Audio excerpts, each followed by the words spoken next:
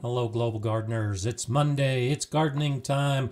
Let's get your gardening week started. Well, today we're going to be talking about bugs, insects. And most of what you'll see on YouTube and you'll read in blogs and see in documentaries, even, is how to control the insects in your garden. It's pest control, how to get rid of insects. Today, I want to take a slightly different slant. We'll be talking about those kind of things, pest control, but I want you to start thinking about pest acceptance, accepting the insects in your garden and maybe even encouraging more to occupy your garden. Getting to have that opportunity where you go outside and there are bugs everywhere. Because once you start recognizing the difference between the good bugs and the bad bugs, I just think it's a wonderful feeling to be in the garden surrounded by bugs and you're recognizing that just about all of them are the good ones. So we'll be talking more about the good bugs today than the bad bugs. And we'll be answering your questions and we'll just be sharing our gardening stories back and forth. It's great to see a lot of the regulars. It's great to see River and Dale here on this Juneteenth holiday in the United States and welcome to everyone around the world. Jean Pierre is back from Belgium, so it's so fantastic. Tron is here from Vietnam. This truly is a global audience. So nice to have you all here. Do check in, especially if you're new. Let us know that you're new. We've got Jay and Heidi, our fantastic moderators, that will keep the conversation going and help answer questions if I can't get to your specific question. So nice to, to see everybody. And here's a nice new name, a tree every day, Muhammad Ahmed. Nice to see you here. Hello to you as well. And so, uh, Tron, for instance, Tron's been a, a regular viewer for a long time and uh, always puts a comment in Vietnamese. And thank you for that.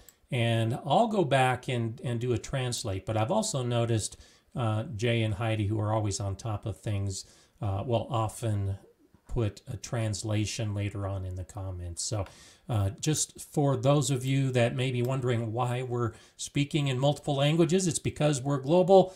But I, I and others do make a point to translate when someone from uh, another country where English might not be a primary language is commenting in their native language. And I love that. I, I actually have learned so much about other regions of the world from doing that, from getting the comments and then doing the translation and finding out about a name for a plant or how a plant is being grown in some other part of the world that I just don't know about. So you all are fantastic, and the global aspect of this community is also incredible. So, uh, ants and plants, enemies or friends? And I'm glad glad you asked that because that's actually the number one thing on the list that I want to talk about today. And so I saw earlier Paul had commented that he had fire ants and had gone into the mound, dug out the middle, put in diatomaceous earth.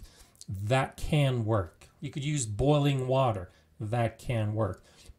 So when we talk about ants, fire ants are even though they do positive things. They'll they'll dig the tunnels into the soil so they'll help aerate the soil. They'll bring organic matter into the soil so it helps benefit and enrich the soil. For most people who live in regions that have fire ants, it's not a friend, it's an enemy, and it is something that you have to battle. It is something that you have to try to deal with. And boiling water, diatomaceous earth, are a couple things. Borax can work, vinegar. There's lots of ways to disrupt how they get into the garden. But, particularly fire ants, chemical controls are often the best thing to use to try to get rid of fire ants. So, fire ants tend to be an enemy. But the other ants, the black ants, the sugar ants, the ants that are just crawling around, I think they're friends. And that's why it was number one on my list today because of all of the insect pests that people ask me about, ants tend to be at the top or close to the top of the list because there's an assumption that that ants are enemies. They're bad. We need to get rid of them. And I let all my ants go. Even if they start digging into my beds and start making little mounds, their entrance and exit mounds, that's great. They're aerating my soil.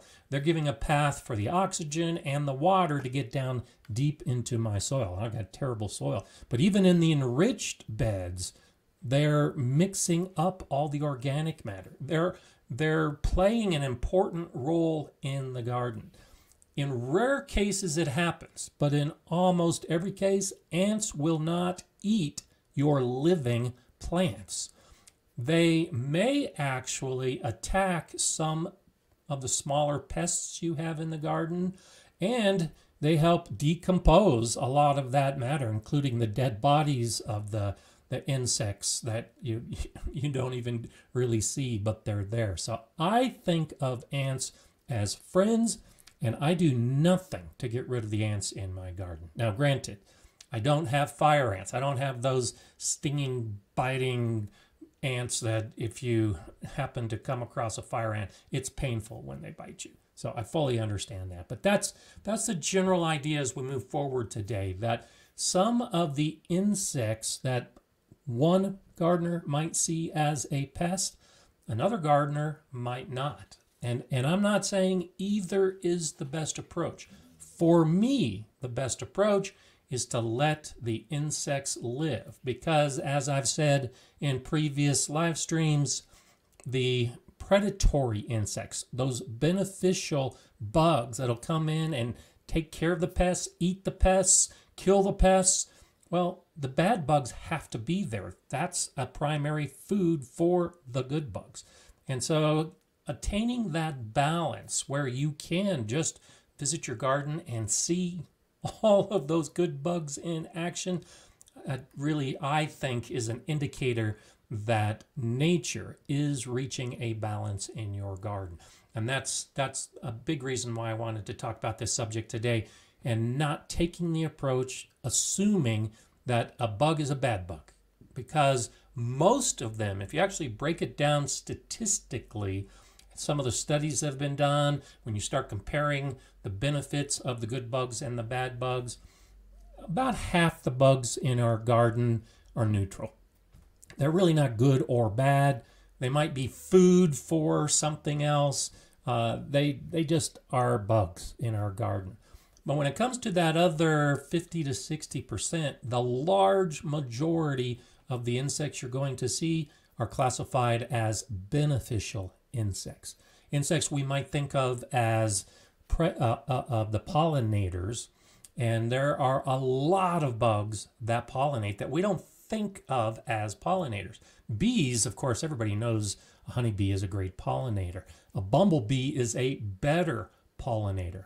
But there are flies, just generic flies, not the the house fly that you got to swat on your windowsill, but flies of every size and shape and color that are just out flying. And they often are great pollinators as well. And that's why I say when you start learning and recognizing what the insects are, you'll see some of these benign insects. They're not causing any harm to your garden at all, but they're helping to pollinate your garden. And in the process, feeding some of those other insects and other wildlife that might be in your garden. So uh, we'll proceed with that. Let's see what kind of questions we might have that have been popping up. Anita saying, what about little red spiders, friend or foe? Not too many per bed, but enough to see them there. That's number two on my list is spiders. So uh, identification is key when we try to figure out if it's good or bad. Now, uh, I had a question like this recently and did a little correspondence with the viewer who was concerned about little red spiders on the plant. And my initial response was spiders are good in the garden and and let them be because they will eat and kill a lot of bad insects. And so be it webs or or tunnels or if they're just a like a wolf spider where they just are predatory and will will crawl after whatever the pest happens to be.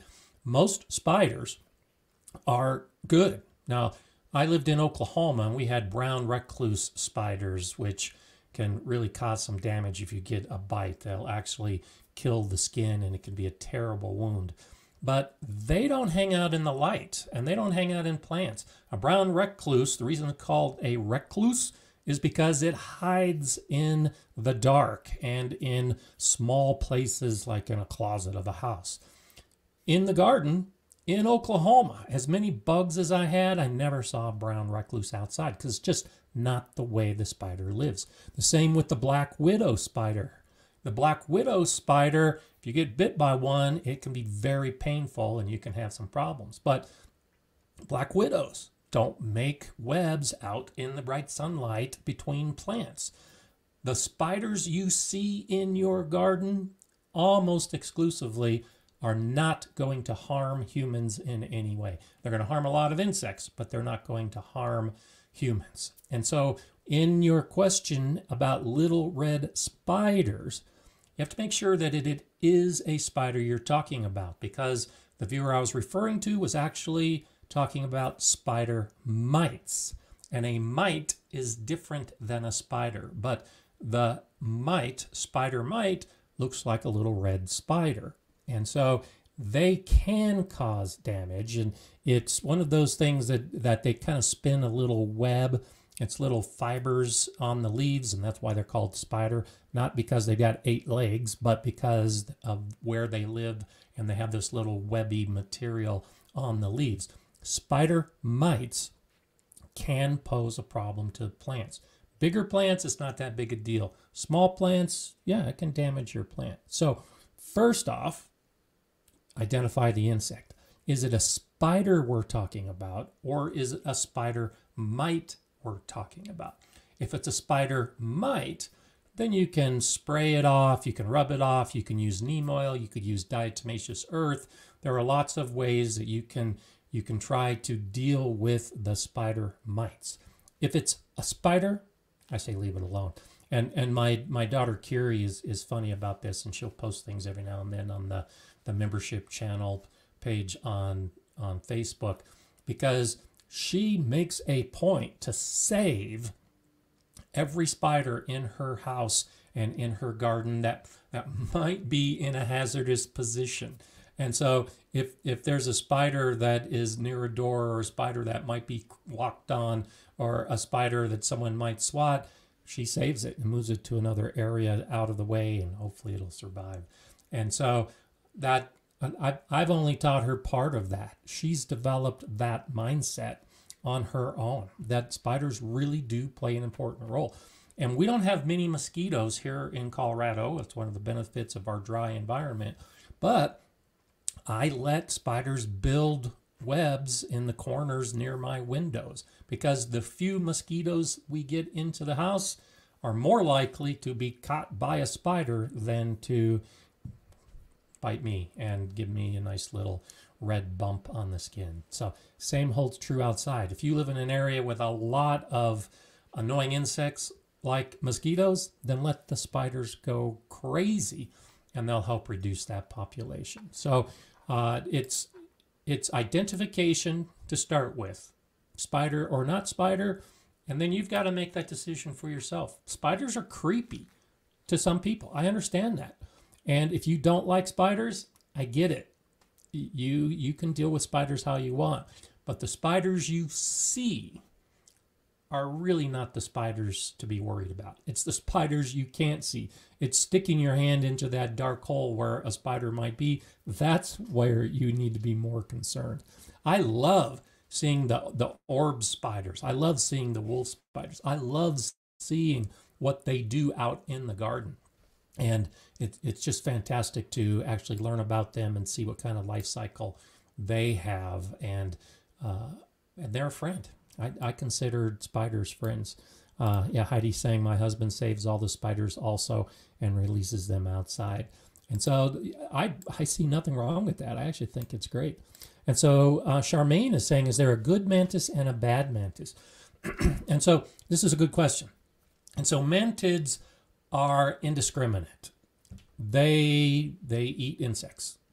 And, depending on the type of mantid and depending on how big it is, they might actually eat small animals. And so uh, I don't have any that are that big. Mine are are devoted to the garden and feed on the insects. And so this is one of those predatory insects that is both good and bad because they are indiscriminate and and are in the garden. If they're sitting on a, a stem and you usually can't see them because they're they're camouflaged, whatever color they are is where they're going to rest and wait for an insect. And so I've got both brown and green mantids in my garden and it's incredible. In the dry, grassy areas, I'll see a brown praying mantis, and in the nice green, lush vegetable garden, I'll find the green praying mantis. So I, I just think that part is fascinating as well. But if if a, a fly, if uh, you know one of those pests that we think of comes into the garden, they're going to eat it.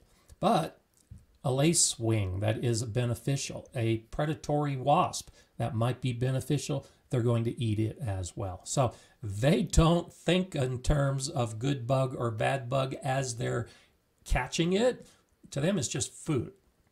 And like I said earlier, most of the insects in your garden are going to be neutral, neither good or bad, or good.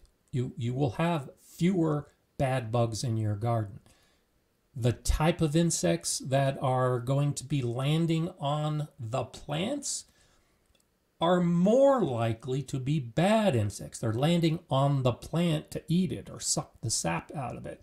And that's where the praying mantis is.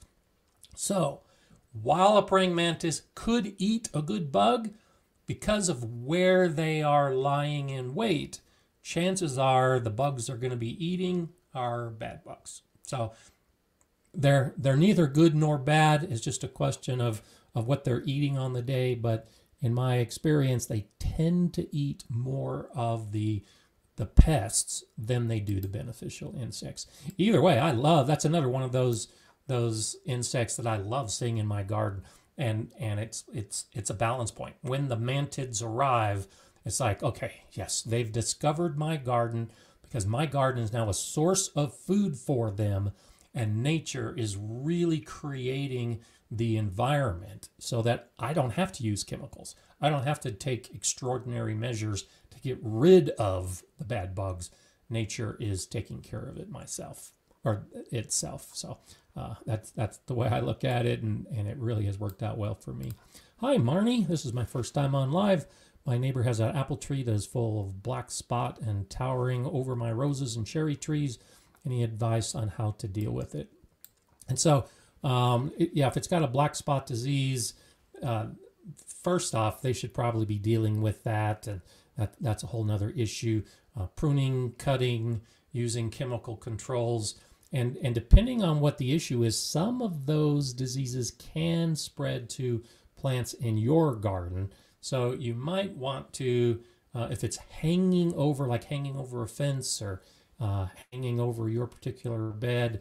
I, I don't like to interfere with my neighbors, but if their tree is interfering with my garden, then communicate with them first. But you might suggest that have them cut down some of those leaves or th- those limbs, or you cut down those limbs, prune them out so that they don't pose a problem.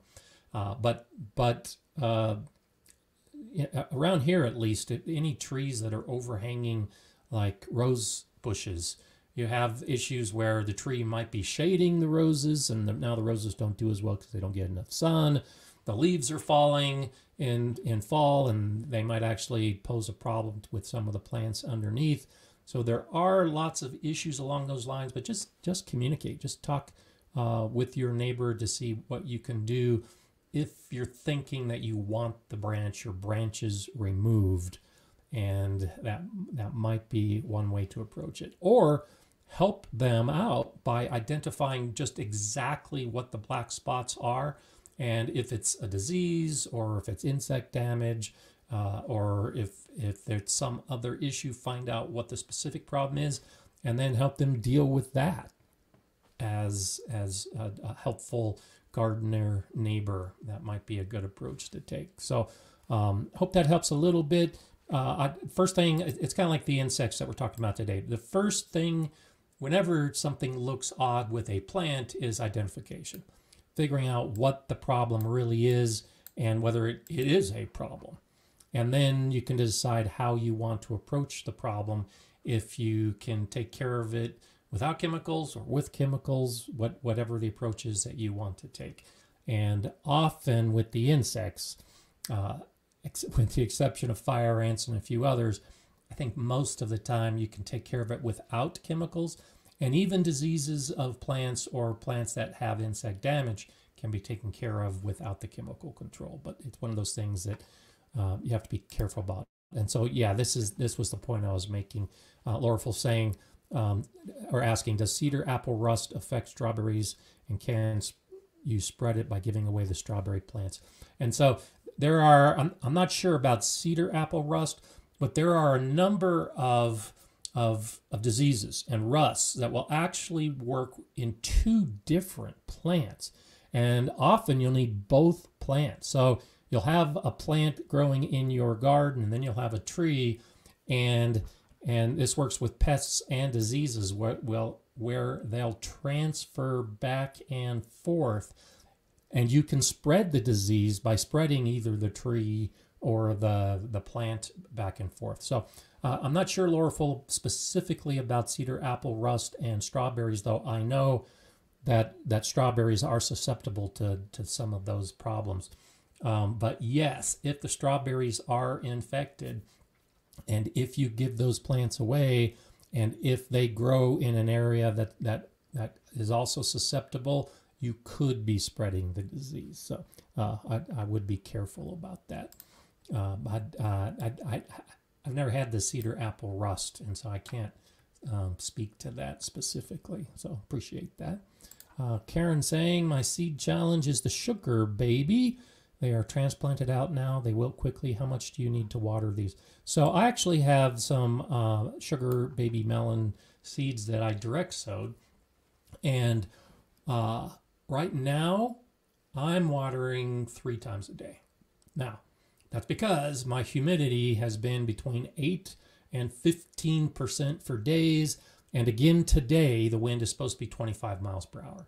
So for me, the wind and the low humidity is just drying out the soil in my vegetable garden beds so quickly that first thing in the morning, I've already done it this morning. First thing in the morning, I go out and water all of my beds. And then in the heat of the day, at about one or two o'clock, I'm out watering. And then last thing before I close up at night, I put a, a little bit of water so the, the soil is moist going through the evening. Now, I started from seed, so my seedlings are still very small, just an inch or two high in some cases. So I'm watering three times a day because I don't want the seedling to die from lack of water. If you've transplanted, if you actually started growing indoors, and so your plants are three or four inches high and a little more of a root system and maybe transplanted so the roots are already deeper than what I have with the seeds that I planted, then you can you can certainly get by, I'm guessing, with less than three times a day of watering. But the key is you have to check your own soil. Are you using mulch? How much mulch are you using? And so I like to start figuring all of this out by watering in the morning and then going out in the afternoon, three o'clock, four o'clock, and physically check the soil moisture. If the amount of water that you've given in the morning and the amount of mulch you have gives you a moist soil at four o'clock in the afternoon, then you only need to water once a day. If you go out at four o'clock and you check and see that the soil is dry, well, that means you're going to have to water twice a day. And and that varies. You may not need to water twice a day on cloudy days. You may be able to go every other day. So when I first started the, the the garden this year, and I had some seeds and plants in before the heat and the low humidity hit. I was watering every two days for some of those those seeds that I had started because it wasn't drying out as quickly. So you have to do your own check for your own beds in your own garden to figure out just exactly how much you need to water. The key with all melons and squashes and any fruiting plant is consistent moisture. So water as often as you need to water so that the the soil is always moist because those fruits are going to need water constantly during their growth cycle. And so the soil needs to be constantly, consistently moist so that the plants can keep growing and give all that moisture to the fruit. So uh, check it out. Stick your finger in, dig a little hole, do whatever you want to do to figure out how wet your soil is later in the day. That'll help you determine for sure just exactly uh, how much water you need to need to use. Uh, and so uh, this is actually um, number four on my list. Uh, Riverdale Gardens is asking lots of millipedes in a raised bed. The bed is doing just fine. Your thoughts? And so when it comes to millipedes, centipedes, mealybugs, beetles, for the most part, I just let them be. And they they have a very important job in the garden. And so in recent weeks, I've talked about amending the soil. I've talked about using compost on top of the soil as a mulch. And, and I make a comment along the lines of, and it will break down and add nutrient, nutrients to the soil. Well, part of that statement and the reason it works is because of the millipedes and the centipedes and the mealybugs and the, the beetles. It's, it's those type of insects that are feeding on decomposing organic matter. They help all of that mulch that we put on the soil break down so that it can become usable for all of the soil organisms.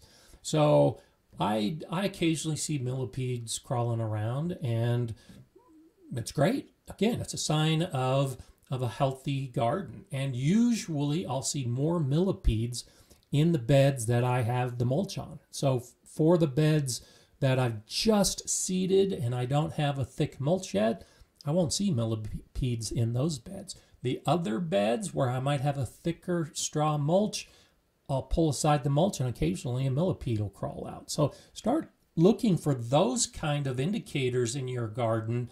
Again, thinking of the good bug, bug bad bug a lot of those kind of insects you'll find in the areas of your garden where the matter is decaying and they're helping with that breakdown process.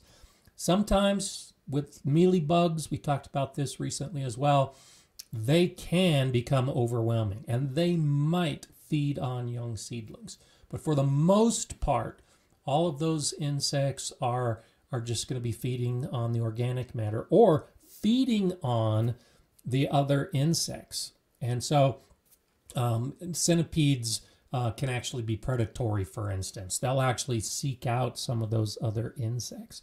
And and the, the beetles fall into that category too. There's a lot of predatory beetles in your garden. It's all part of the process. It's all part of breaking down the organic matter and then decomposing the bodies of some of those insects and it's a nice healthy cycle when you see it. So lots of millipedes in a raised bed. I'm guessing you have a lot of mulch or your soil has a lot of organic, rough organic matter in it. And I think that's a good thing. I, I, I wouldn't be that concerned about uh, millipedes. They're, they're not going to be biting you and causing issues. Now, there's some regions of the world where you know you can get those centipedes that are two feet long, and if they bite you, it's hazardous. So you know this doesn't hold true with every spot on the globe, but for most of us in our gardens, I wouldn't be too concerned about some of those insects that you're seeing. They can probably actually do uh, more benefit than than you can be surprised. Uh, okay, Chief Redbird, I've enjoyed gardening for the challenge and fun of experimenting with different seeds and plants. Right now, I'm watching my gourd grow only one seed out of the four in the package. You know, that's I like I like that idea because uh, you know I do a lot of that where where you you you put four seeds in and only one germinates and start growing, and that one just becomes a special plant, and you're watching every aspect of it. And and I just I love that as well. Uh, I I did that actually with uh, some loofah gourds last year, and uh, had had done some from uh, from seed indoors that I transplanted outdoors, and they were doing great. And then suddenly one day, three of the four were gone, and some insect pest had come in and eaten the little seedlings. I'm guessing it was an insect pest. Um, it, it might have been a small animal. It's hard to tell, but but that one that was remaining, I paid extra special attention to. I was so glad that it was it was growing, and then I had a hailstorm that that bent it and killed it, and that was the end of it. So I know what you're talking about, where it you get down to that point where maybe only one out of four is is growing, and so you really want to take advantage of it and and be glad for that. So um, so want to go ahead and say uh, thank you to Yvonne Waters. Actually, I have to stick to this. Um, thank you for your help. Appreciate that super chat. What ants are dangerous for plants and flowers? And so, um, uh, danger, there really aren't any dan- ants that I'm aware of, at least in the United States, that are dangerous for plants and flowers. The concern is more how we look at them. So, for instance, the peonies. My peonies are flowering right now. A couple weeks ago, they were covered with ants. And I have people ask occasionally, how do I get rid of all the ants on my peonies? And I saw something recently, um, a video talking about how you need the ants on your peonies because they're required to open up the bud for the flower to come out. Well, that's not true. The the peonies secrete a, a sweet solution. And so the ants are just feeding. They'll crawl up on the peonies and and just like you'll, you'll see that the ants are herding aphids because aphids will secrete a, a honeydew. It, it's a sweet substance that the, the ants feed on.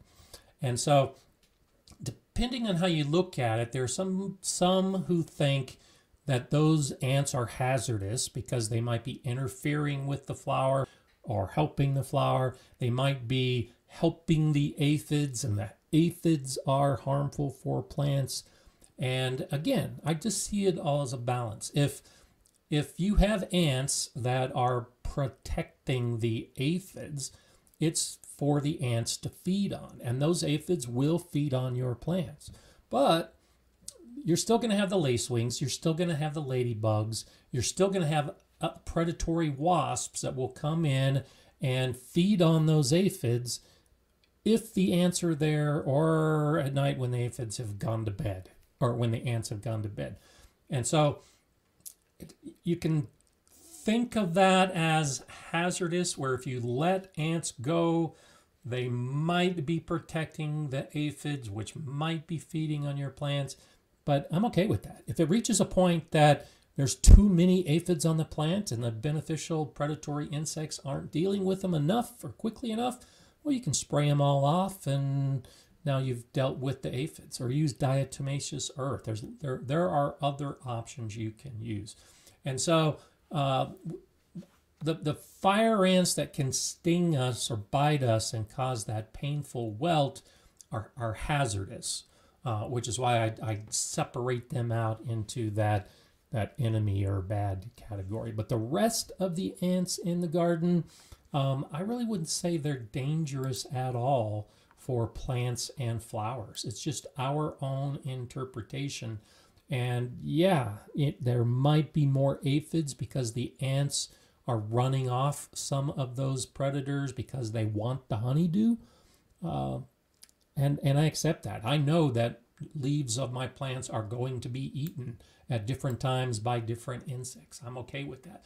It's just a question of how okay you are with your plants being eaten or portions of your plants being eaten and and hopefully that'll help you make your ultimate decision as to um, how to approach the ants in your garden in the first place. So, okay, let's see. Scrolling down, Brian says, I'm noticing black field ants on my loofah gourd. I think they may play a role in pollinating. Oh, yeah, absolutely. And so, um, as the ants are crawling back and forth all, through all the flowers, you know, I was talking earlier about the soil, but yes, they can actually benefit the plants because they are pollinators as they're crawling from flower to flower on a plant. Uh, that they can definitely carry pollen with them. And so, uh, if you get down really close, I've only seen it once or twice where I've seen pollen actually sticking to an ant. But ants have little hairs on their body, and those little hairs can actually pick up pollen as they're moving back and forth. So, uh, yeah, I, am um, not sure about your specific black field ants, Brian, but yeah, that that's definitely a possibility. Uh, and and I had a comment today or yesterday from a viewer who had noticed that on on uh, the cucumber plants, I think it was, that there there's no bees. She's not seeing the pollinators, but she has ants on her cucumbers and has already recognized that that some of the cucumbers have been pollinated. Some of those female cucumber flowers uh, were pollinated and are turning into cucumbers with no sign of any other pollinator except the ants that are crawling across the plant.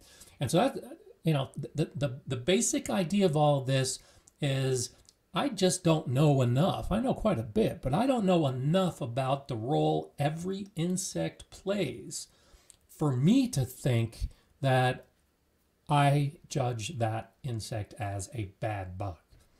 It may have a role in the garden that I'm just not aware of. Even if it's a, an insect that we think of as a pest, well, some of those pest insects are great pollinators. And so I, I like to think there's a role for every insect in the garden, which is why I try to strike that balance where the bad bugs will bring in the good bugs. But ultimately, that decision does come down to, to how you decide to, to approach it. So let's see. We have Cecil Gasper. I have a beetle-like bug that is green and called a true bug. It's eating my spinach and other plants. Uh, yeah, and so, you know, and, and this is one of those things that I do a lot of manual or mechanical control of the pests in the garden. And so when I come across uh, an insect that I know is eating my plants. I can see it happening, and if it's a big enough, uh, like a like a green beetle, if I can reach down and squish it or pluck it off, or throw it into soapy water or whatever the approach is you might want to take, I'll do that. So, yeah, don't get me wrong. I'm not against killing the bad bugs, and if I see the bad bug, I'm willing to kill it. My point is more just as a general approach to gardening that you can't kill every bad bug. And so rather than spraying with with artificial compounds with those those chemicals that if they kill a bug, they're indiscriminate in many cases as well. They'll kill the good bugs along with the bad bugs. So that's what I'm trying to avoid is uh, the the indiscriminate killing by using a synthetic chemical pesticide. Uh, but if, if you can see the green bug, uh, the true bug, and pluck it off or deal with it, go for it. Yeah, I, I actually have no problem with that. But also, start paying attention to what else is happening because you may see birds and, and other insects come in and start dealing with some of those those pests. A big reason why I'm okay with killing and squishing and plucking is I don't want an infestation. None of us do. And and often an infestation of of insects when it happens just just can become overwhelming and stressful and and you, all of your focus goes on trying to get rid of those bugs. If you can catch them early and there are just a few here or there, that's enough to attract some of those those predatory insects.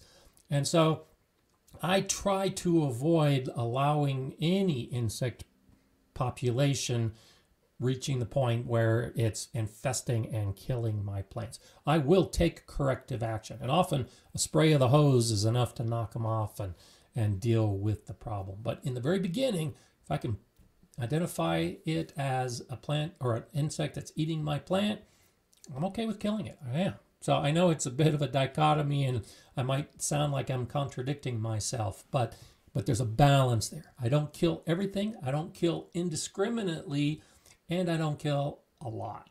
It's it it's got to be the the bug of the day and and I like taking pictures. I I, I came across one the other day and it's like this this looks like it's eating my plant. And then I looked closer and realized it was an assassin bug, which are really cool insects. And assassin bugs are predatory. And so, yeah, it's crawling over the leaf like it's about to eat the leaf, but it was obviously on the track, the scent of some other insect that was already on the plant, probably trying to eat the leaf. And so, uh, it, it's real easy when I'm not wearing my glasses in the garden and there's a bug to think, oh, that's a bad bug. I'm going to pluck it off and kill it. Be careful about that because sometimes some of those really ugly looking bugs are the most beneficial bugs, and those are the ones that you should leave behind. Ginger Ninja Biscuit. Nice to see you here, new to gardening. Been watching for a while and love your channel. Keep up the good work. Well, thank you for that. I appreciate that. I always like to have new gardeners and and uh, for, for for new gardeners who discover my channel, a lot of you who have been watching for years, and and and, and I love the the loyal viewers. You know that that I present my videos in a in a planned sequence, in a, a planned series, so that you can see how to do particular tasks from A to Z. Uh, container gardening, raised beds, fall gardening, garden planning, all those things I've got videos on. Uh, and so, as a new gardener, thanks. Welcome to the Gardener Scott channel. And I hope you can find a lot of the videos that you're looking for because I, I do have a lot of videos out there for new gardeners to figure out what what order to do things and how to do things and often what works best in the garden. So, um, so Charmaine's asking, will green onion tops work to deter squash bugs? Um, not that I'm aware of there are there are some plants uh, in the allium family, the the the garlic and the onions that might deter some insects.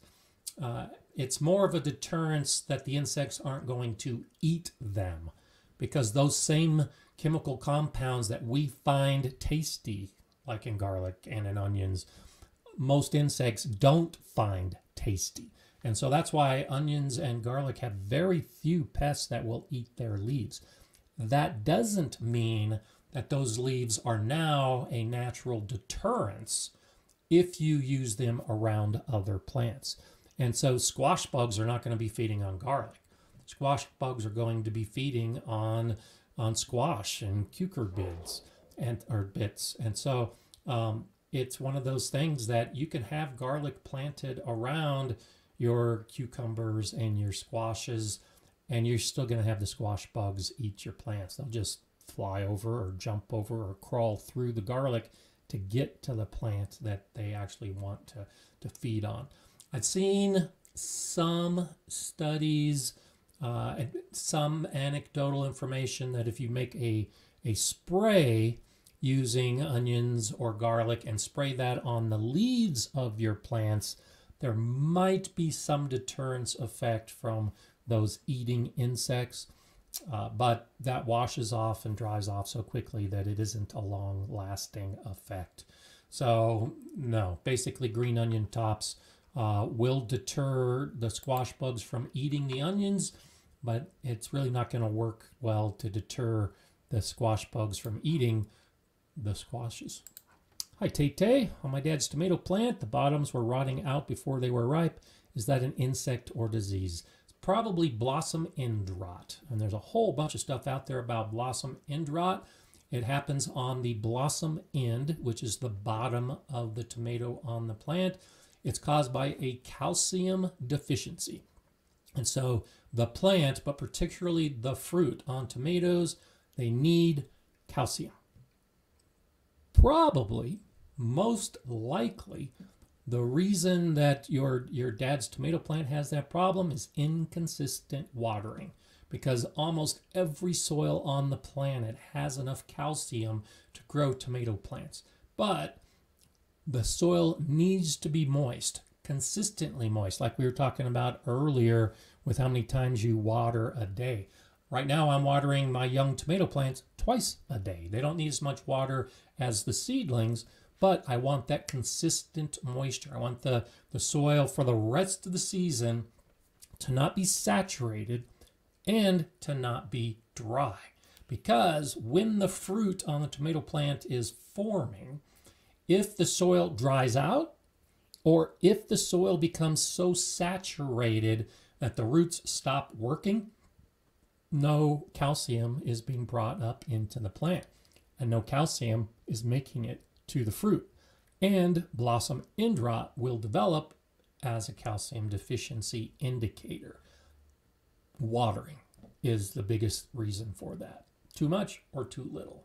And I've got I've got lots of other mention of that in other videos because it is common. But you know, it's funny. You may, I've had this this question on these kind of things before. I've had a few people over the years ask. Um, I, I should do a video on blossom end rot, and I think once or twice I had someone ask why I don't show videos about blossom end rot. It's because I don't have blossom end rot in my garden. It, you know, I, I like to show you what's happening in my garden and what I have. I don't like to use stock footage or steal from, from somebody else. I'm definitely not going to do that. And so I show you what's happening. Well, by not showing you a blossom end rot video, it's telling you that consistent watering works because I don't have blossom end rot on my tomatoes because I water as often as I need to so that the soil moisture is consistent. And then I never get blossom end rot. It's, it's that simple. So tell your, your, uh, your dad to think about how he's watering, check the way he's watering, try to be more consistent with his watering, and it won't go away in the tomatoes that already have it.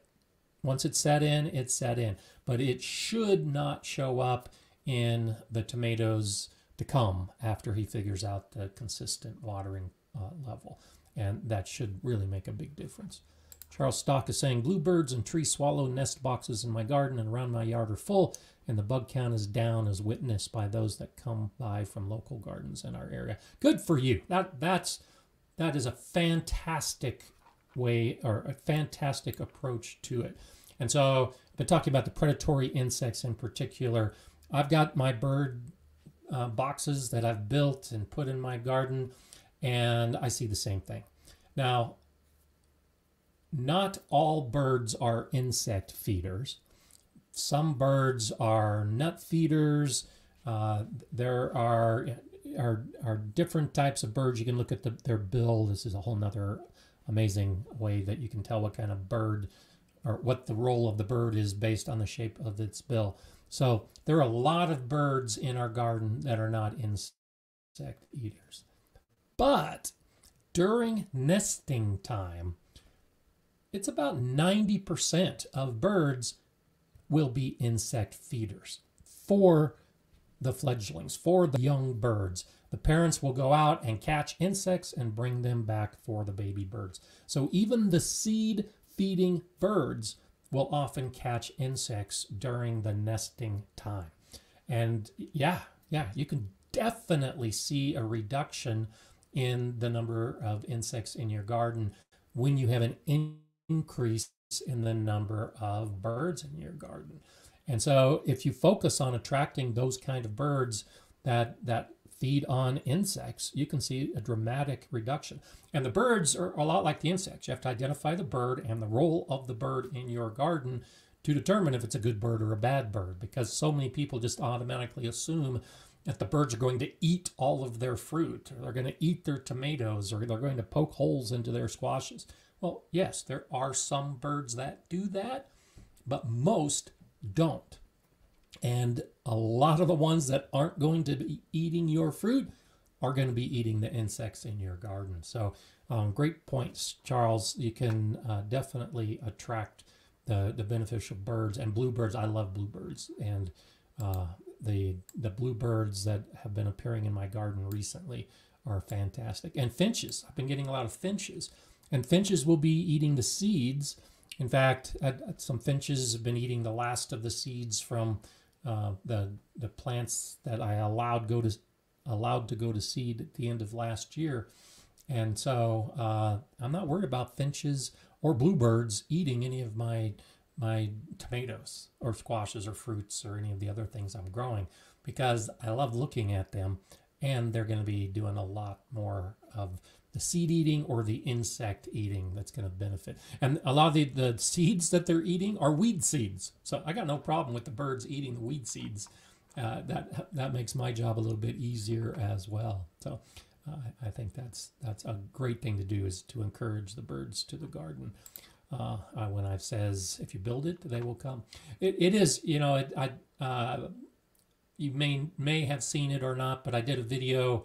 Uh, it's been a couple years ago now, I think, where I built birdhouses, and uh, in the next video, so I, I showed the video of how to make the bird house, hang the bird house, and the very next video I did in sequence had nothing to do with birdhouses, but in the background of that video, you can see the birds flying in and out of those birdhouses. And, and it was within a week. Within a week of me putting up those birdhouses I built, there were birds living in those birdhouses. So so if you do it right, and that's what I talk about in that video, is is, is you have to make the house for specific birds. And so I was trying to attract bluebirds and swallows, and sure enough, bluebirds and swallows were occupying those birdhouses within a week. It, it's incredible. But I, I, I go back to some of those videos. Nowadays, I don't even think about it because I just see the birds flying in and out of the houses.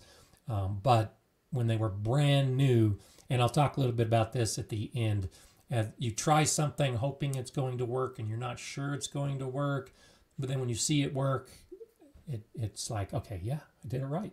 It worked the way it was supposed to work. And birdhouses definitely fall into that category. Hi, Diane. Just recently found lantern flies in the nymph stage. Interesting. In Pittsburgh. I read it is suggested to kill ASAP. Sorry if this has already been addressed. No, I haven't talked about um, lantern flies.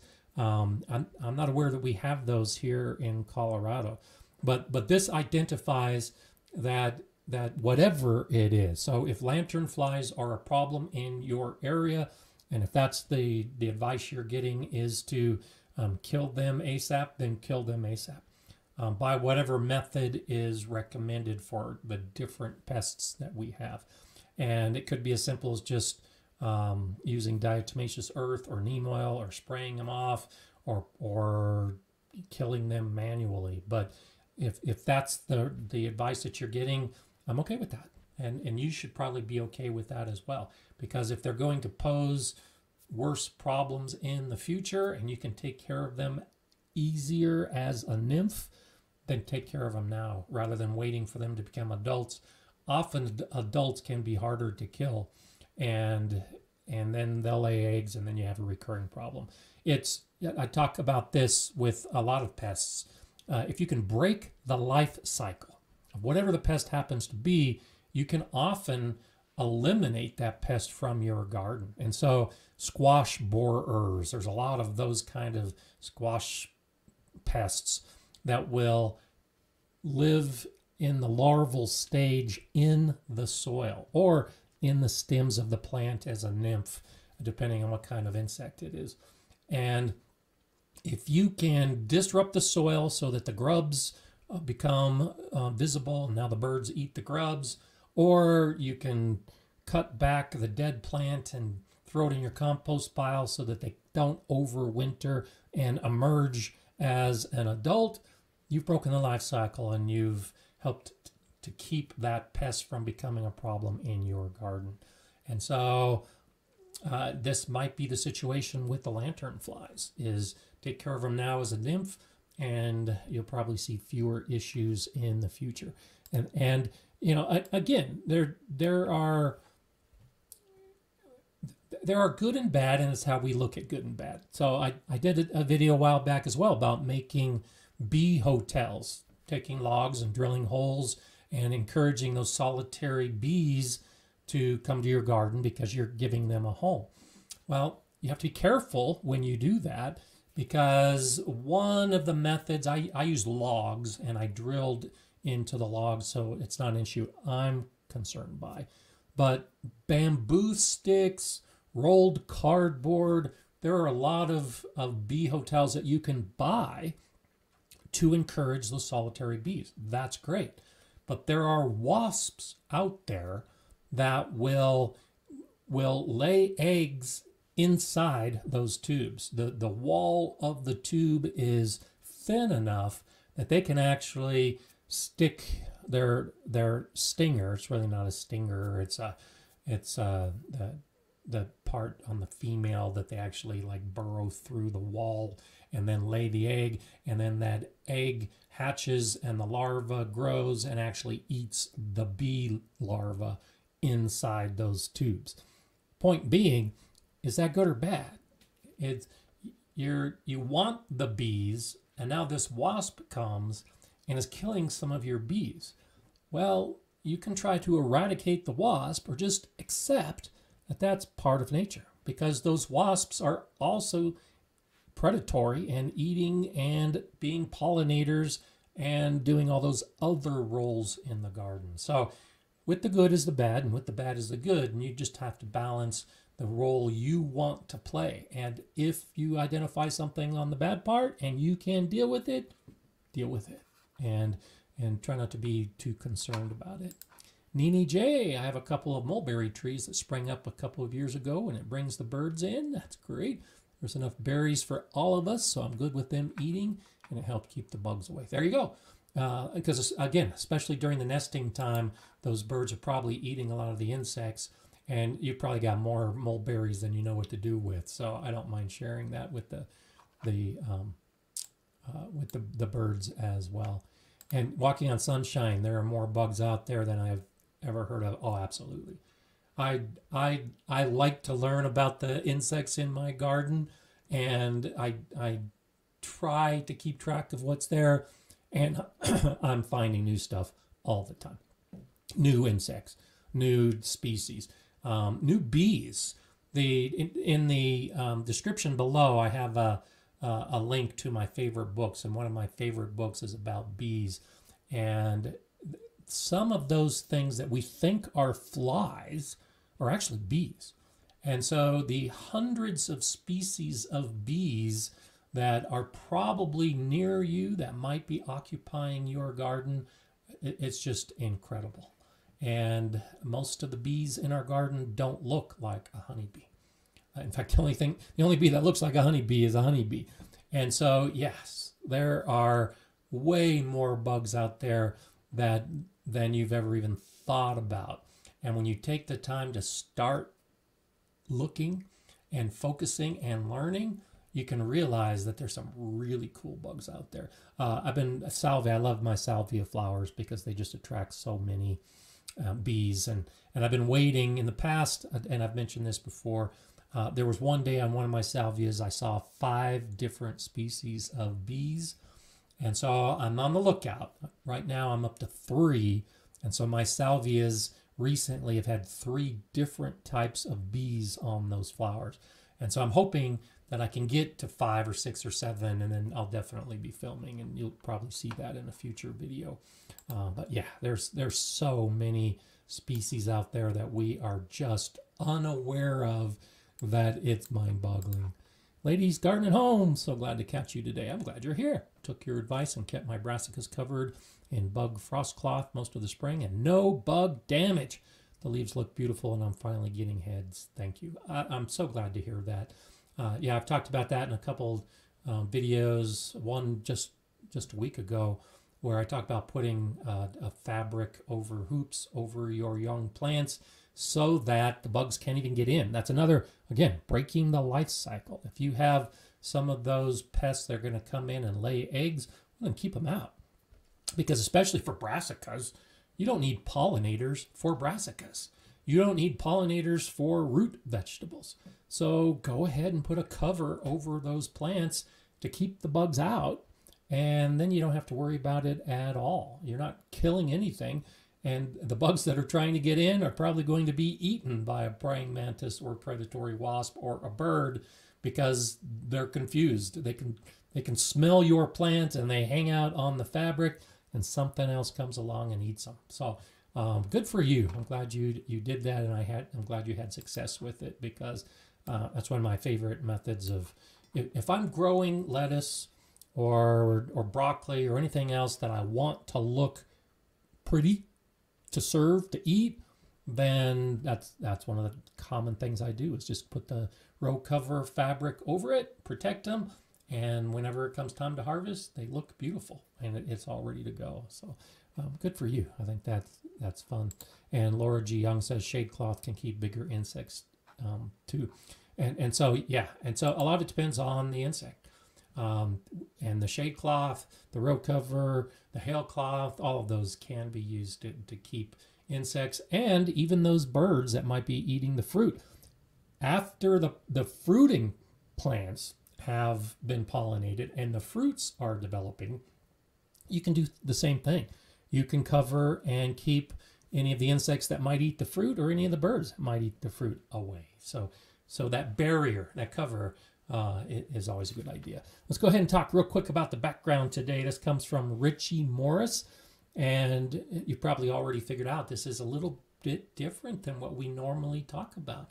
And so most of the pictures that we take are the daytime pictures when the flowers are pretty and we want to highlight what it is we're doing in the garden. But Richie has highlighted a nighttime view. And I just love this. And I've already started some project along these lines. You, of course you'll see those videos in in the months ahead. But uh, I like getting out in my garden morning through evening.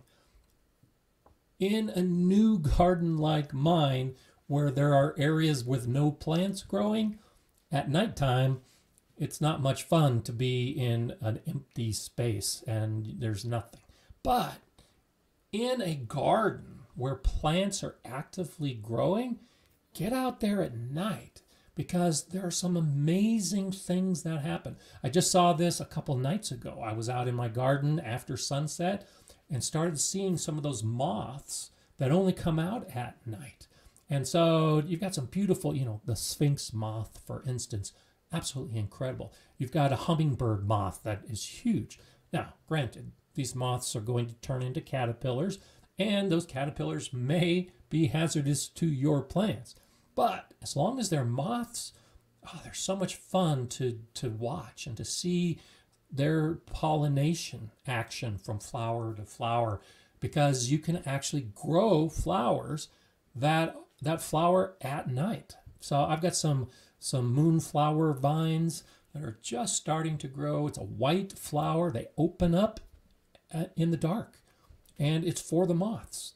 It's really cool to start thinking about that as an area for you to expand your gardening experience if you haven't thought about it yet is grow a nighttime garden and while you're at it go ahead and put up some lights so a nice archway with lights around it and lights that are stretched around some of the the trellising in the background lights to spotlight some of the pots that you have, like those those double wine barrels. Great idea to use the bottom barrel to support the top barrel so it comes up a little bit higher.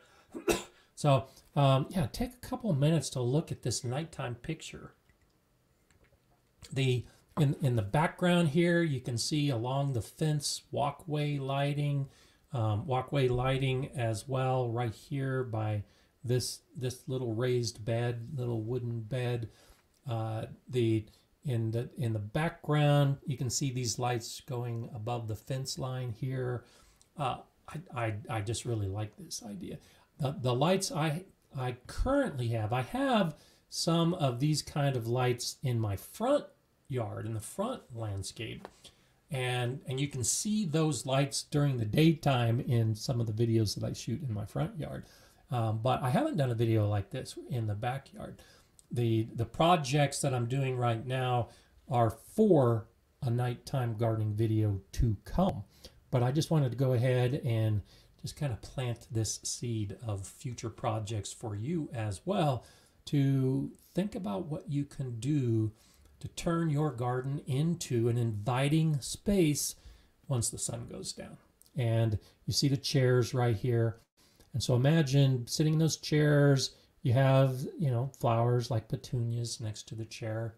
And you can go out on a nice cool summer evening, enjoy a beverage, watch the moths that are flitting all over these petunias and the, the flowers and uh, they'll they'll go to the lights as well and it's a great great way to expand how you look at your garden it's not just a daytime thing. It's not just a summer thing.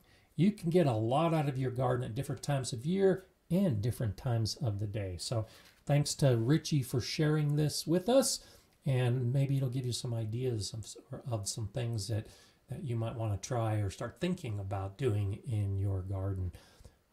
Sunset Gazing says, I sit outside in the evening, watch the sunset and the birds, dragonflies, and bees really become active. Absolutely. For my yard being a blank slate to my planting all kinds of trees and plants. Awesome.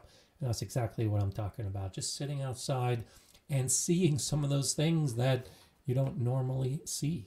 And so um, your, your name says it all, sunset gazing because it does open up an entirely different world. Yogi Lai says, I have a ridiculous amount of solar lights in the garden. Good for you. I think that's funny. And Llama Llama says, I only have the cheap little solar lights and I love it though. Uh, my husband calls it my little city. Yeah, absolutely. And that's that's all I use is the, the cheap solar lights, but they work. And it really does make it uh, into a completely different city at night. City for the insects and the birds and for you as well. So uh, that's great. I think that's that's wonderful. Uh, Jay's saying, I'm looking at adding arts and crafts to my veggie garden. There you go. This might be a project for you to think about, Jay, is maybe add some of those flowers, uh, those nighttime flowers or those sunset flowers and some lights to, to, to benefit it as well. So I, I, think that's a, a, an interesting way to start approaching it. Um, and, and so, yeah, to the point that, that we, we're just talking about Urban Chicken Mama is uh, depending on what you want, solar lights don't have to cost a lot. You can get those little cheap ones. And if they're, you know, like these little small ones, these little discs, you can actually pick up those discs pretty inexpensively and they just help light a pathway. Um, this one right here, I've got a couple like this that are um, I've got one that's a dragonfly. This is green. The one I have, this is probably similar. The one I have is LED lights and they change color. So it's green and then it turns to yellow and then it turns to, to pink and then it turns to purple and then it turns to orange. And that little dragonfly LED light probably only costs $12, maybe even less. And so um, you you can actually pick them up and they they are cheap they look cheap but at night you can't see that it's a cheap plastic you just see the light and uh, as the others have already pointed out the cheap solar lights actually work pretty well so yeah frank barnwell is saying christmas lights on december 26th are cheap and good outside absolutely and so uh, I, I've done that as well. You know, pick up the the clearance sale after the Christmas lights or after Christmas. Pick up some of those Christmas lights, outdoor Christmas lights, and you can use them in your garden as well. So that, that's a good suggestion. So Shandy's Garden just bought a bunch of solar color changing lights for the garden and installing them tonight. What a great coincidence. So uh, I'm glad you're doing that. Uh, and so um, Goof Damon's asking, but don't lights in the garden attract animals? So so it depends on the animal. Um, most of the animals, at least I have around here, are coming in the dark, and so you know the the the the the deer, uh, a, a, lot of you know the, the groundhogs, the um, raccoons, you know most of those animals you're not going to see because uh, they're nocturnal and they're coming in the dark. So the lights might be attracting moths, and there might be some birds that might be more active because they'll be feeding on the moths. I've seen that too. Um, uh, but the lights themselves are rarely uh, bringing the animals in because most of those animals at nighttime are nocturnal and they're going in areas that there aren't any lights. You know, think of a bat. A bat is just flying around at, at light or at night and needs no light whatsoever. But if you're out there at sunset or shortly thereafter, you'll see the bats flying around that you wouldn't normally see if you weren't out in the garden at night. And so I, I wouldn't worry too much about um, animals that might be attracted by the light because if you have those animals in your area that are already coming to your garden, they're already coming to your garden. And in some cases, the light may actually deter them because they don't like to be in a well lit area. So, um, depending on the lights you're using, you might actually be able to use it to your advantage to keep some of those pesky animals away. And so, yeah, MW says I get deer all times of the day. Uh, it was that way at my last house. Here, the deer aren't out during the day. It, we're a busy enough neighborhood that they're not out during the day, but they come out at night because things quiet down and they can roam from yard to yard without um, being barked at by dogs because the dogs are usually in at night as well. Uh, so that's asking, I may have missed this, but is it good to have or not have a bird feeder to get some of the bad bugs? Um, so yeah, we did talk a little bit about this as far as encouraging the birds in your garden and the birds can eat some of the insects. And so a bird feeder is typically a seed feeder. And so the birds you're going to be attracting are seed eaters generally. And seed eaters are not always insect eaters. But during the nesting time, those seed eaters are probably going after the insects as well.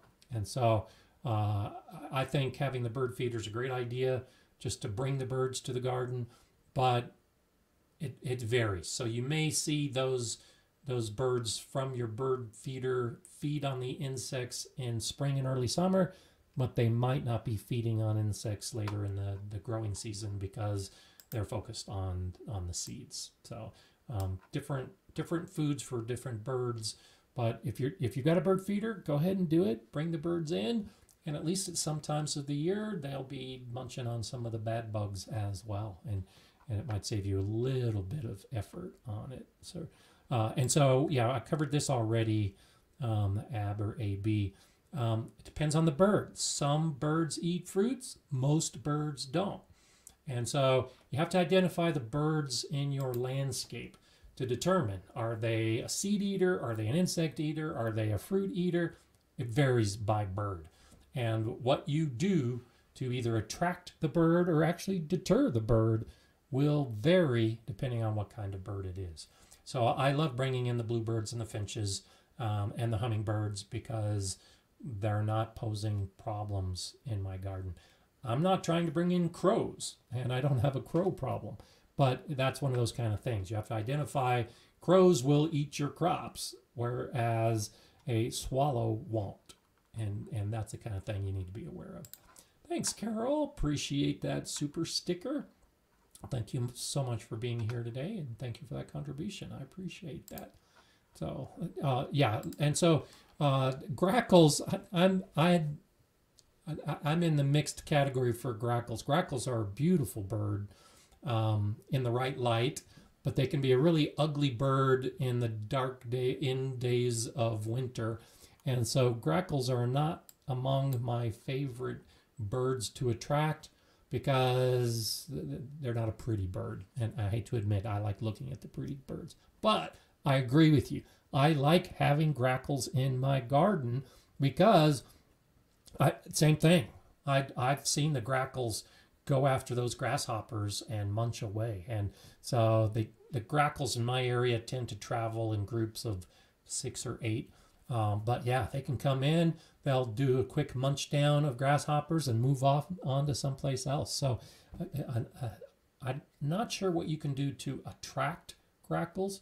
Um, I've seen some of them feed or, or, like do some of the seeds around my bird feeders, but they just are popping back and forth and and it's not necessarily a bird I'm aware that you can attract easily. But yeah, I agree with you. Now they eat grasshoppers, and any bird that can eat a grasshopper is is a good bird in my category, even if they they aren't. But if you catch them in the right light, as I say, on the on the cloudy, dark days of winter, they they look pretty dark and they look kind of um, not pretty. But if you catch them in the right kind of light and they flutter down and they have this this green kind of more green than blue, uh, they really can be a really pretty bird, and especially when they're going after the grasshoppers, um, that makes them a really pretty bird. So uh, in, interesting. I haven't actually seen grackles this season so far, so I'm wondering about that. Um, so let's see. I'm going to go ahead. Uh, Patty says catbirds are great at big catching and they love to bathe several times a day in the summer. Good. Catbirds are, are one of those interesting birds if you like to see the life cycle of the uh, of an interesting bird. Catbirds fall into that and interesting bird category. And so yeah, great mage gray wolf. Uh, they they can just be. I've seen that happen before too, where they'll just pull up uh, seedlings Luckily for me, when I've seen that happen, they've been in an area where the seedlings or the little plants are blowing up tend to be weeds. Um, I haven't had a problem in my garden beds, but yeah, they can be an issue. Uh, yeah, there's Laura. They have a beautiful iridescent sheen. There you go. Uh, so thank you for sharing that. It, it's an interesting bird. And uh, for Jay, they're bullies in the area. So see, you can see how e even the same bird in different areas has uh, different reaction from different people, and sometimes they're good and sometimes they're bad. And so, tiny blackbird with an orange spot on the arm. Yeah, we've got those um, those blackbirds, red winged blackbirds, and uh, beautiful. And in fact, a little park not too far from me. It's about a five minute walk. In the, the spring, the trees are just covered with the red winged blackbirds and they're they're beautiful, absolutely beautiful. And so that might be what it is that you uh, that you see and something to to look for. Oh yeah, there we go. Charles says um, it's a red-winged blackbird. So thank you, Charles, for substantiating that. So I'm just trying to catch up on the the the comments. So I'm sorry if I'm repeating something that some of you have already said. And uh, I do appreciate you all being involved in the conversation and adding all that information as well. It's one of those kind of things that that you all help each other out as much as I try to help each other out, and uh, it, it's nice to have that. So thank you so much for all of that. And so, yeah, while I see it, Mayday Garden says the red-winged blackbirds have an unmistakable song, and that's that's why I like to go down to that little park um, because there, there, there are hundreds for sure. And, and I think uh, there's a, a, little marshy area nearby. And so I think that's one of their local nesting areas because I've never seen them here in Colorado in, in those numbers. But yes, they've got a very unmistakable song. And when you have hundreds of them that are singing back and forth close to or during the mating season, um, it, it's pretty incredible. So I, I, think that's fantastic. So, um, okay, let's see. Bohemian Herbology Natural Solutions says join the YouTube chat specifically to participate in this phenomenal idea and such fun. So glad that you're here and so glad you're chatting with Heidi and Heidi is chatting with everybody else as well. So it's fantastic. Oh, there you go. Laura has a is near a marsh and it's full of them as well. So so there's some stuff that is universal and and that's that's why once you recognize what what different birds need and habitats and insects and all the rest of it you can see again how interconnected we are and we might have the same kind of birds but live in different areas but the environment that the bird needs is the same regardless of where we are. So i think that's great. James richter thank you for that. Thank you for my favorite part of monday. Well thank you. This is my favorite part of monday as well. So uh, I'm, I'm, glad it can be for you too. This is one of those things that, uh, you know, this this time on Monday really does start my week off. I try to to take Sundays as a day off. Doesn't always work that way. You know how gardening is. but Mondays really are the, the, the jump start to the gardening week. And this is what I use to jump start that activity and to get out in the garden and do all those gardening things I want to do. So it's always so nice to have you all here on Mondays because it really does uh, make it out. So SP is wondering about cucumber beetles. Was it in an was it earlier in the vid? So um, I mentioned cucumber beetles briefly, uh, or squash beetles, I think maybe more specifically earlier in this live stream. I have talked about them in a few other videos in the past. And so um, the cucumber bugs, the squash bugs, uh, those are those are the ones that that I would put into that category. That my control of them is first to identify if they're even there, and as soon as I see them, those are the kind of ones that I'll pick off and squish and kill right off the bat. But but the life cycle is important to understand in a lot of, of the, the, the squash bugs and the cucumber bugs because most of them will overwinter either in the plant or in the soil. And so if you can identify the insect and then do a little bit of research and I figure out what the life cycle is, you might be able to break the life cycle by just putting a row cover over some hoops to protect your plants. And then you won't have the problem ever again. And most insects are only going to be eating very specific plants. And so just because, you know, for instance, uh, the, the, the um, squash borers, you're not going to see them on your tomato vines. You're not going to, to see them on most of your plants. They are a squash borer. And so if you can keep them away from your squash, you can break their life cycle. And, and a lot of the squash and the cucumber insects will eat one or the other or both. And so the, the advice is to, to identify it specifically as to what it is, figure out the life cycle, figure out how you can break the life cycle. Now, this is looking into the future. This is so that next year you don't have that problem.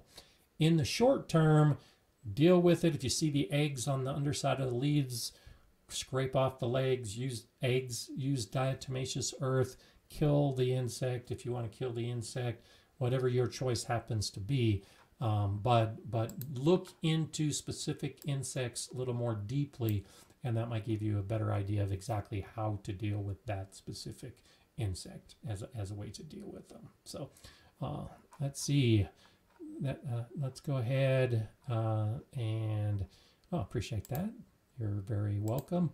And let me see if I can find one last one. Laura G. Young says, I get a lot of dragonflies due to the marsh and creek nearby, but it's still dry as a bone. Yeah, here in Colorado, it is still so dry. So uh, I did another water feature video that I just released over the weekend because I love the dragonflies and I and uh, and damselflies and they like water and I don't see a lot of them in my garden, but they're another indicator. When I see the dragonflies, it's telling me that I'm achieving a balance, that the water features in my garden are supplying that the wa- the water needs of some of the insects like that. And so um, haven't seen a dragonfly yet this year because it's been very dry here in Colorado. But as I add more water features and give the insects that, that water to drink, I'm hoping that I'll see the dragonflies start to show up because dragonflies can actually be very beneficial in your garden as well. So, uh, plus they're just really cool to look at, really, really cool to to observe as as they're flying around the garden and then you land, especially those really big ones. I think it's really cool. So uh, and, and so at, as I talk about getting out in the garden and looking for the insects and observing what's happening and how often I'm watering my my young seedlings and the seeds that I planted, um, I, I, I had a bit of a revelation this last week uh, just because things weren't happening the way I was expecting them to happen. And so I, I want to share with you that I have the same worries and the same concerns and the same stresses that all of you have as gardeners. Sure, I have been doing this a little bit longer than than most of you and sure, I've got more experience in a lot of gardening things, but I still have those same concerns. And so last year I did a video on how to save cucumber seeds. And I saved the seeds, and those are the seeds I put into my garden this year, one, one bed in particular, Boston pickling cucumber seeds. And didn't think a whole lot about it because everything I showed in that video I know to work. And none of my cucumbers are coming up. And it's like, did I do something wrong? No, I know I didn't do anything wrong, but why aren't my cucumbers growing? Why don't I have those little Boston pickling cucumber seedlings? And and I started doubting myself, which most of us do. We see something, we try something, we do something, it doesn't work, it's not happening. We start doubting ourselves. What did I do wrong? Well, as of about two days ago, I've got dozens of Boston pickling cucumber seedlings growing in that bed. I just needed to have the patience that I always advise you all to have. And as I've mentioned recently, my soil has just been so cool, it's taken a long time to warm up. And so it just took longer for those cucumber seeds to germinate than what I was expecting. Because in past years, the cucumbers would germinate in four or five days.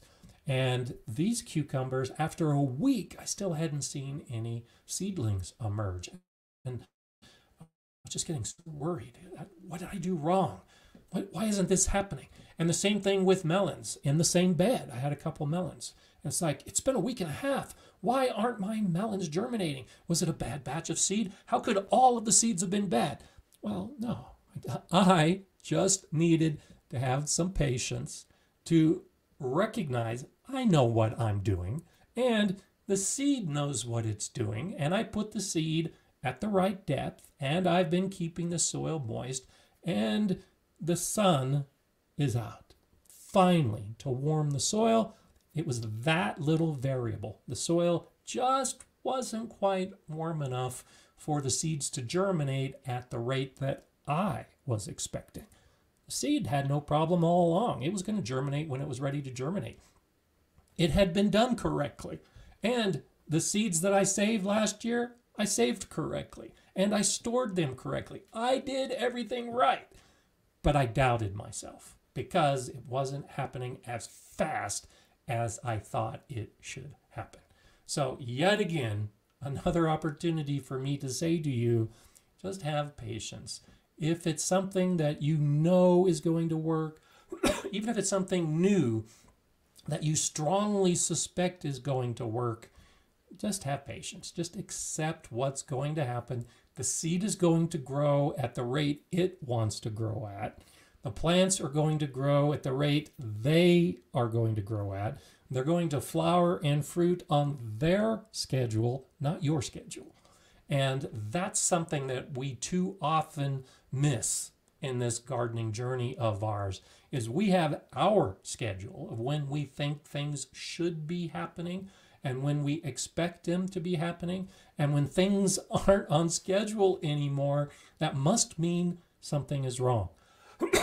Well it isn't that it's wrong. It's just that the plant schedule and the gardener schedule aren't matching. So uh, I I wanted to share that because I don't normally stress too much in the garden. I have confidence in my abilities. Even when I'm experimenting with something new, I have confidence that it's going to work out somewhere close to what I expect it to turn out. But when things don't turn out, there's that worry. I turn back into that brand new gardener thinking I did something wrong and trying to figure out what it was that's wrong and how I can fix it. And really, there's no fix needed at all.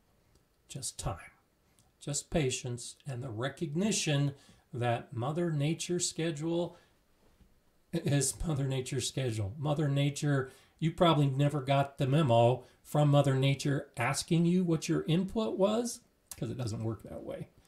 It's going to happen the way it's going to happen. And so try not to stress, try not to worry, especially as we move into the summer and maybe the plants are getting too hot, so the pollination isn't happening, and you're wondering why you're not getting the fruit. Well, probably has nothing to do with you. It could be purely weather related. There can be so many other things happening in the life of a plant and in the life of your garden that it's not something you did wrong.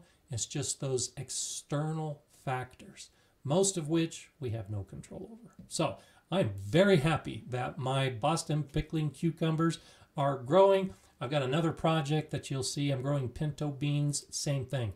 Took forever for those pinto beans to germinate and start growing, and now they're popping up all over the place. So that that's that's a video I've been looking forward to doing for more than a year, and it's like ah, it's not going to work out. I can't do this video because the pinto beans aren't growing. Well, they are. I just needed to have patience and remember that it's been cold. The soil's been cool and the soil temperature affects how quickly germination happens. I know that. I've told you that. But in the moment, in the garden, it's so easy to just default to the gardener being wrong. And I want to tell you, most of the time, you're not wrong. You're doing things right. I know I'm doing things right. It's just so nice when it actually does happen like you were hoping it would happen. Thanks for being here. I look forward to seeing you here next Monday. I appreciate you all so much, and you've really started my week off. I'm headed out to the garden now. I hope you get to your garden soon. See you next Monday. I'm Gardener Scott. Enjoy gardening.